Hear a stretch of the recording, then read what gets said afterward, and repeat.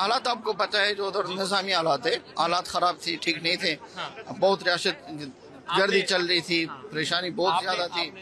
मगर अ, जो मैं इधर पहुँचा मैं समझा जो मेरी जान बच गई और मेरी बच्ची की जान सब कुछ बच गई।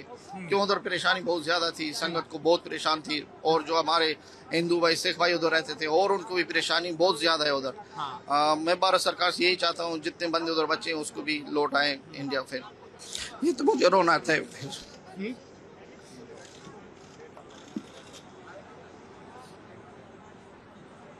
सर आप जाएँगे अपने घर आप चिंता मत करिए।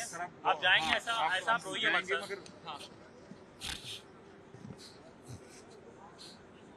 सर अफ़गानिस्तान के लिए कोई दुआ दुआ इस समय अगर आप कहना चाहें तो क्या कहेंगे अफ़गानिस्तान के लिए?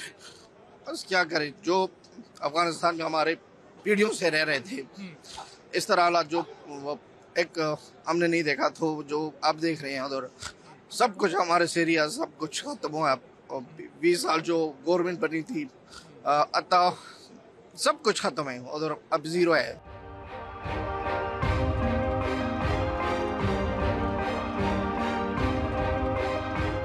वहाँ बहुत मुश्किल था इसलिए यहाँ आया।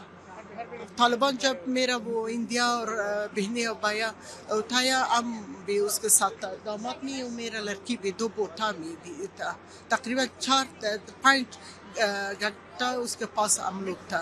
और उसके साथ हम बहुत बातचीत किया कि जो इंडिया भाई और बहनें हैं ये हमारा मदद के लिए आया है ये अफ़गानिस्तान के लिए आबादी के लिए आया है। फिर भी उसका हम लोग के साथ बहुत बदलाव किया। बहुत ज़्यादा।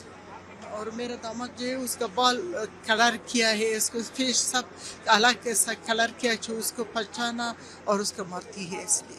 महिलाओं के लिए भी वहाँ पे काफ़ी मुश्किलें हैं। सब के लिए सब वो बोलती नहीं को, को, सब चीज़ ठीक है हमको पता है जो ये बात जबान से करती है पीछे उस तरह नहीं। एयरपोर्ट आने में भी दिक्कतें हो रही थी क्योंकि तालिबान के कुछ लोग आ गए थे और कुछ इस तरह से बातें आ रही थी सामने जब आप एयरपोर्ट हम हम इंडियन लोग के बोल दिया कि हमारे साथ मदद कर लो क्योंकि हम नहीं जा सकते क्योंकि मैं आप लोग के साथ था गाड़ी में और हम हमारा फ़ोटो सब लिया था। मैं क्यों किस तरह दोबारा अपनी घर चलूँ? मेरा घर को जला दिया उन्होंने।